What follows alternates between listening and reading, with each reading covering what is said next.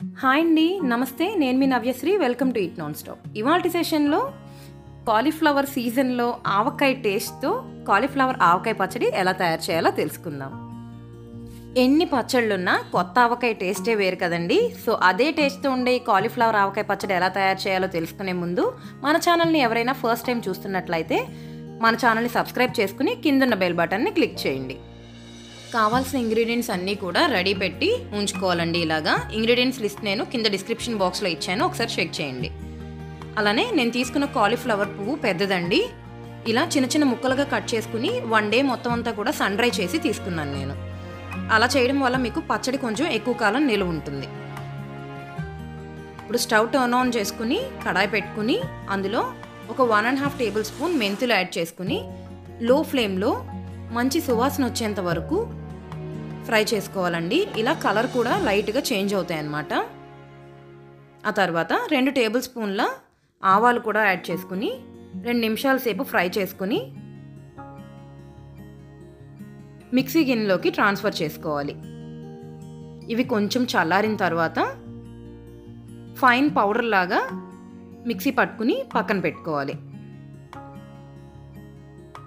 ఇప్పుడు అదే కడాయిలో చింతపండు గుజ్జు ప్రిపేర్ చేసుకోవాలి. యాభై గ్రాముల చింతపండుకి హండ్రెడ్ ఎంఎల్ వాటర్ నేను తీసుకుంటున్నానండి. అంటే రెండు కప్పుల వాటర్ యాడ్ చేసుకుని ఆ వాటర్ కొంచెం మరుగుతున్నప్పుడు చింతపండుని మనం ఆ వాటర్లోకి యాడ్ చేసుకోవాలి.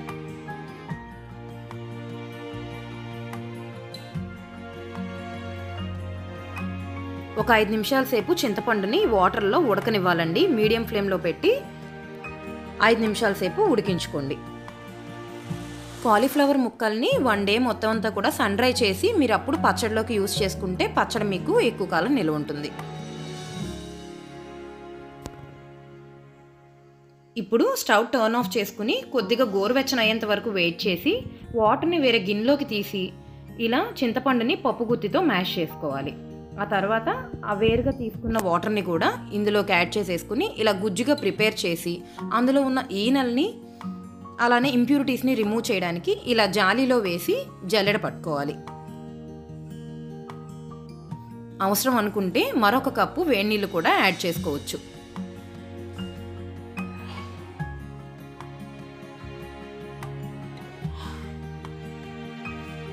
ఇలా ప్రిపేర్ చేసుకున్న చింతపండు గుజ్జుని లో ఫ్లేమ్లో పెట్టుకుని ఉడకనివ్వాలండి. ఒక ఐదు నుంచి పది నిమిషాల వరకు ఇలా ఉడికేటప్పుడు ఒక హాఫ్ కప్ ఆయిల్ నేను యాడ్ చేసుకుంటున్నాను. హాఫ్ కప్ అంటే ట్వంటీ ఫైవ్ ఎంఎల్ అండి ఇక్కడ ఈ గిన్నె కొలత ప్రకారం.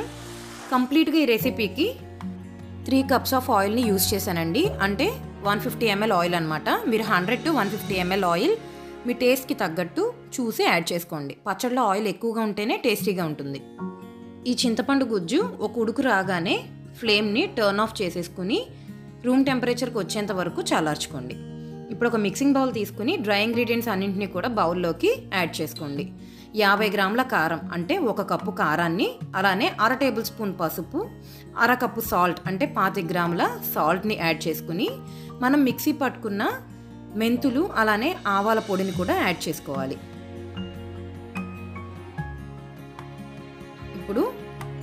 కొన్ని వెల్లుల్లి రెబ్బల్ని కూడా యాడ్ చేసుకుంటున్నానండి. మీకు కావాలంటే యాడ్ చేసుకోవచ్చు లేదంటే స్కిప్ చేసేయచ్చు.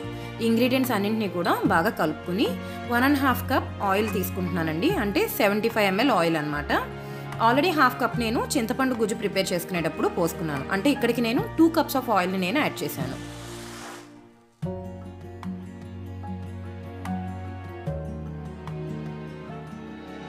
ఇలా బాగా కలుపుకున్న తర్వాత చల్లారిన చింతపండు గుజ్జును కూడా యాడ్ చేసుకోవాలి.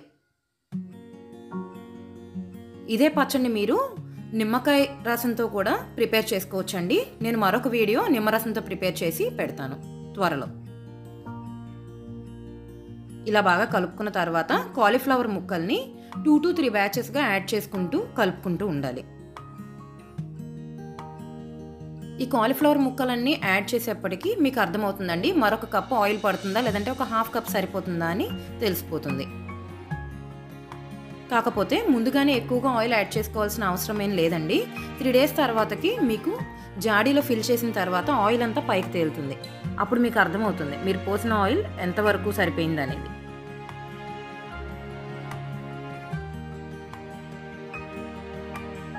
ఇలా కాలీఫ్లవర్ ముక్కలు అన్నింటినీ కూడా యాడ్ చేసుకుని బాగా కలుపుకుని లాస్ట్లో మరొక కప్ ఆయిల్ని యాడ్ చేసుకోవచ్చండి.